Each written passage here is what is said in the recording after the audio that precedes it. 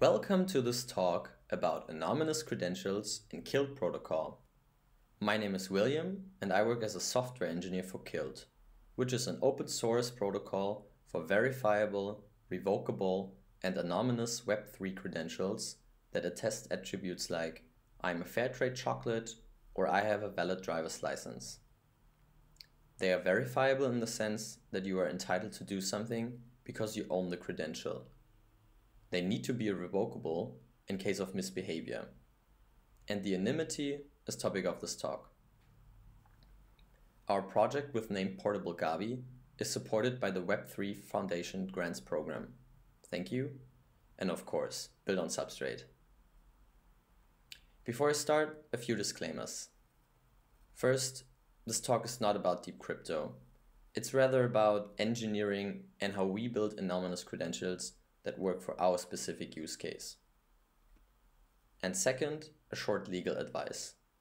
This is just a technical presentation, and the information set forth should not be considered exhaustive.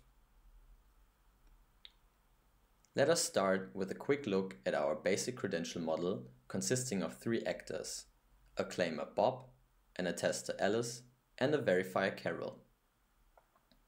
Bob wants to prove his possession of a specific cat to a verifier Carol.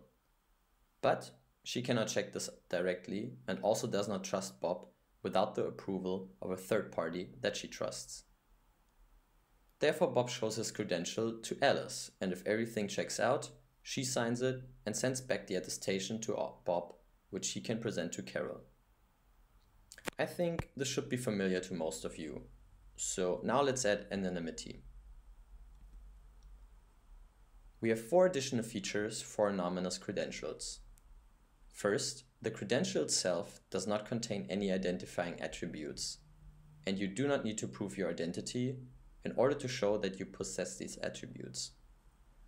In fact, you prove these attributes already by showing that you have a specific credential.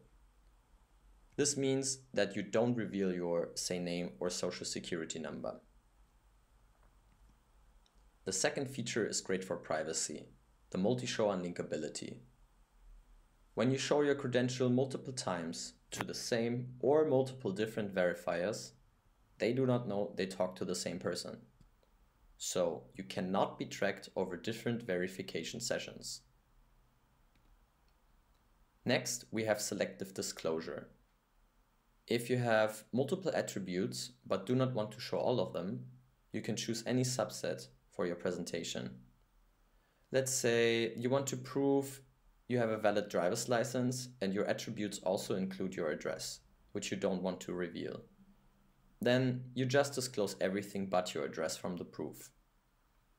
This feature is also pretty crucial for privacy as you want to minimize the attributes you publicly show to a verifier as much as possible, since they can reveal something about you. Last but not least, we have the decoupling of the attester and verifier.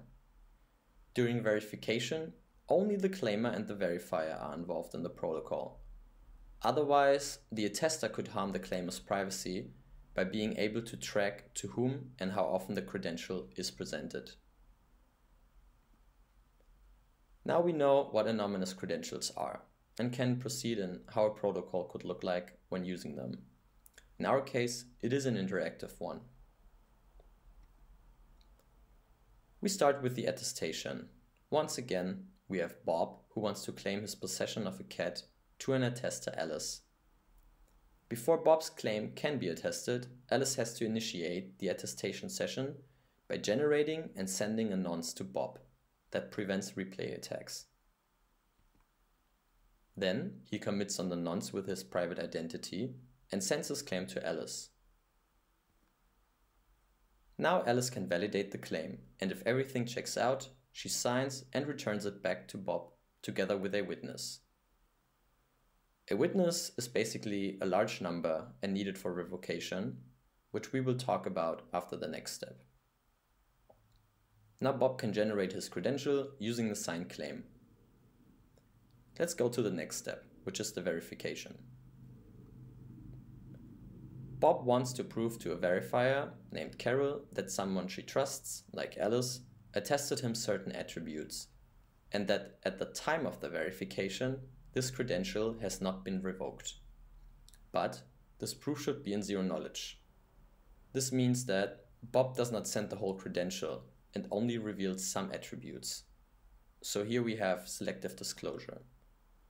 The rest is proven in zero knowledge.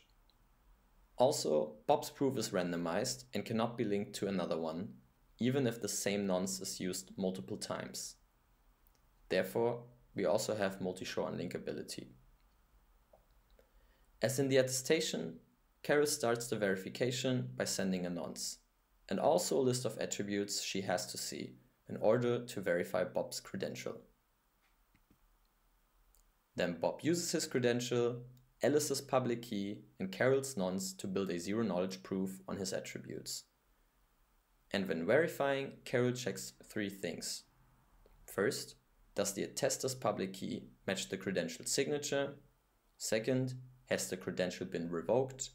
And third, was Carol's nonce really used to create the proof? If everything checks out, the proof is verified. So now the last thing we have to cover is the most important thing, the revocation of Bob's credential. And we haven't touched the chain yet, which we will do now. So let's jump back to the attestation phase.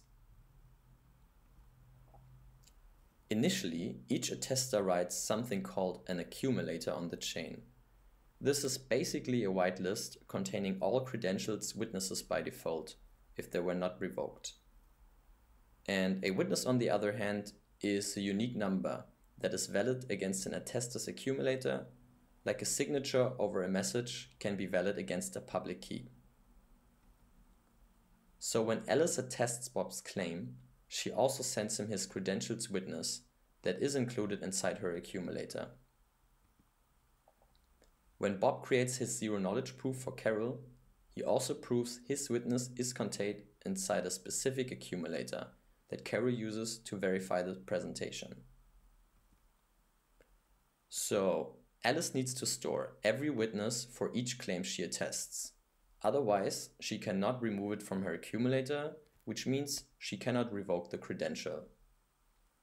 When she removes the witness from her accumulator, she generates a new one, which she has to put on the chain. After that, Bob also needs to update his credential. So as you can see, new versions of accumulators could be added to the chain quite frequently. And the worst case would be that Bob needs to update his credential before every verification. To prevent this, a verifier can signal the claimer that they accept not only the newest accumulator, but also accumulators which are more recent than a specified point at time during the initiation of the verification process. Now the claimer only needs to update their credential if it has not been updated after the required timestamp. And this already wraps up the protocol. First of all, thank you very much for your attention. The project I was talking about is called Portable Gabi, and of course, it is open sourced and can be found on GitHub. It's a TypeScript API that uses the Substrate blockchain for the storage of accumulators. If you want to know more about it, or Kilt in general, you can join our Riot channel or hit us up on Twitter. I put the links here on the slide.